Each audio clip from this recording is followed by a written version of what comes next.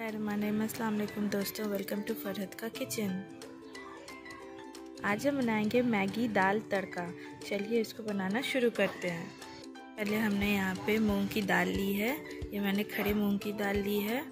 और यहाँ पे हम नमक स्वाद अनुसार लेंगे। आधी छोटी चम्मच हल्दी पाउडर, आधी छोटी चम्मच काली मिर्च पाउडर और दो खरी हरी मिर्च। सबको हम प्रेशर कुकर में डाल देंगे और एक कप पानी डालेंगे और इसे हम अच्छे से पकने के लिए रख देंगे।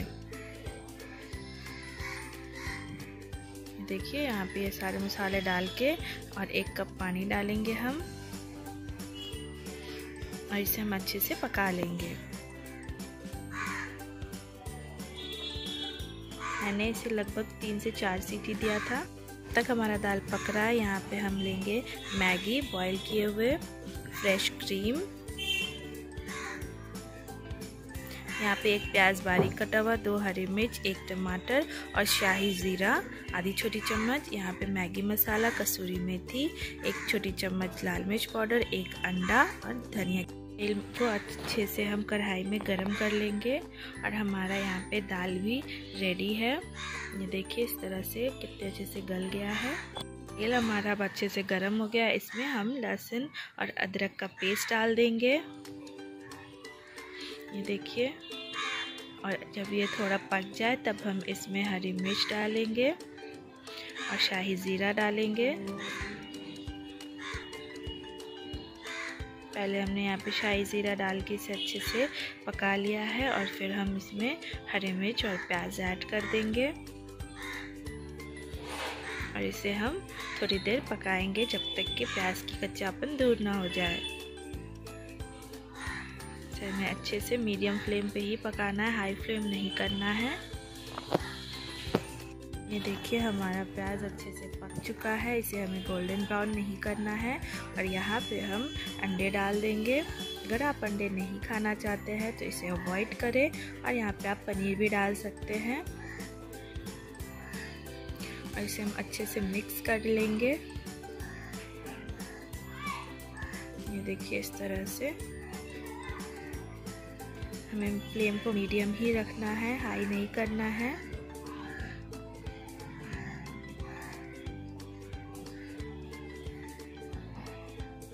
ये बिल्कुल ही फ्यूजन डिश है और बहुत ही टेस्टी बनती है। एक बार आप इसे ज़रूर बना के ट्राई कीजिएगा। और यहाँ पे हम लाल मिर्च पाउडर डाल के इसे अच्छे से भुनेंगे। और इसके बाद हम कसूरी मेथी ऐड करेंगे इसमें।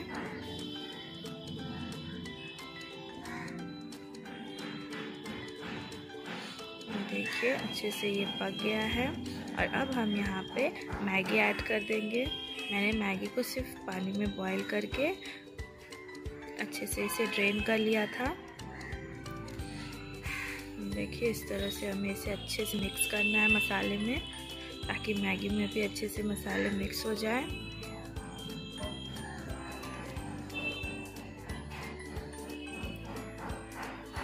देखिए, इस तरह से हमें इसे अच्छे से एक से दो मिनट के लिए भूनना है और हम यहाँ पे मैगी मसाला ऐड करेंगे। हम यहाँ पे मैगी मसाला पूरा ऐड नहीं करेंगे, हम हाफ़ ही ऐड करेंगे, हाफ़ हम लास्ट में ऐड करेंगे। जब हम दाल ऐड कर देंगे तब।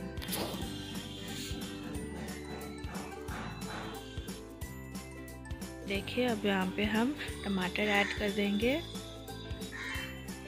और इसे हम अच्छे से मिक्स करेंगे। इसे हमें हल्के ही हाथ से मिक्स करना है, वरना मैगी पूरा मैश हो जाएगा। और अब हम यहाँ पे दाल ऐड कर देंगे। और इसे हम अच्छे से मिक्स करेंगे, ताकि सारे मसाले दाल में मिक्स हो जाए। और जब ये अच्छे से मिक्स हो जाएगा, फिर हम इसमें पानी ऐड करेंगे। मैंने एक कप पानी लिया है बट मैं यहाँ पे अभी आधा कप पानी डाल रही हूँ और इसे अच्छे से मिक्स कर रही हूँ। और फिर हम इसे बाकी आधा कप पानी को डाल के और इसे हम बॉईल करने के लिए रख देंगे। ये देखिए।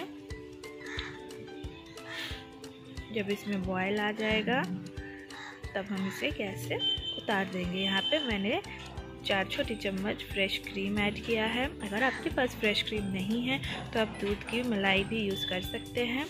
और अब हम यहाँ पे मैगी मसाला डाल देंगे, जो हमने पहले उठा के रखा था। और इसे हम अच्छे से मिक्स करेंगे।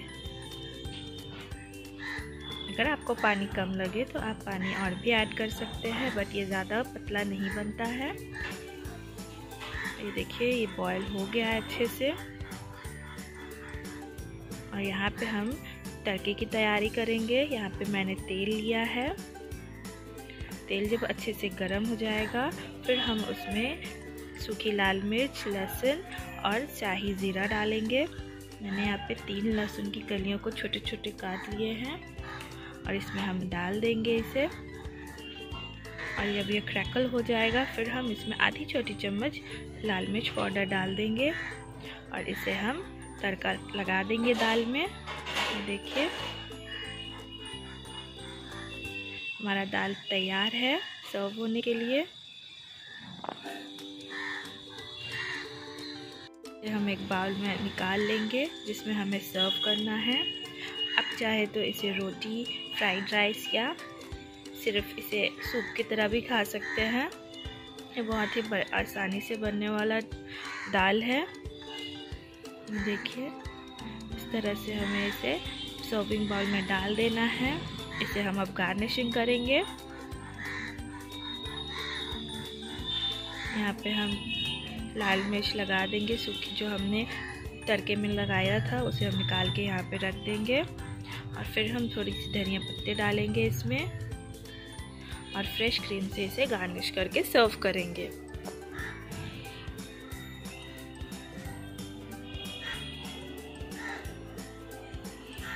ये देखिए, हमारा मैगी दाल तड़का बिल्कुल तैयार है सर्व होने के लिए। एक बार आप इसे ज़रूर ट्राई कीजिएगा। ये बहुत ही टेस्टी बनता है और बहुत ही आसानी से बनने वाला डिश है। मेरी रेसिपी मैगी दाल तड़का पसंद आई हो तो कमेंट में ज़रूर बताइएगा और इसे एक बार ज़रूर ट्राई कीजिएगा और वीडियो को लाइक, शेयर और सब्सक्राइब करना ना भूलिएगा।